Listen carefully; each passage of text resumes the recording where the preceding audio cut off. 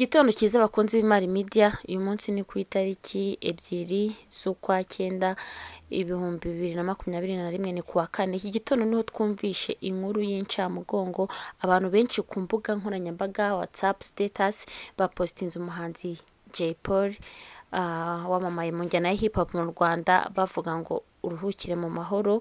Rero tugerageza gushaka byinshi kuri iyi nkuru, gusa ibyo twabashije kubona ni uko uyu muraperi Tuyishime Joshua wamamaye nka Jay Polly mu muziki nyarwanda wabarizwaga muri gereza, aho yari akurikiranyweho icyaha cyo gukoresha ibiyobyabwenge yitabye Imana azize uburwayi.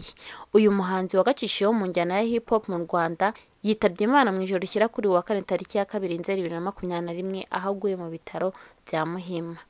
Amakuru atugeraho ngo ni uko uyu muhanzi yagejejwe ku bitaro bya Muhima avanywe muri gereza y'amageragere aho yari afungiye mu masaha y'ijoro. Ubwo uyu muhanzi yagezwaga mu bitaro yahise ashyirwa mu ndembe igitaraganya ari naho yamaze umwanya muto agahita ashiramo umwuka.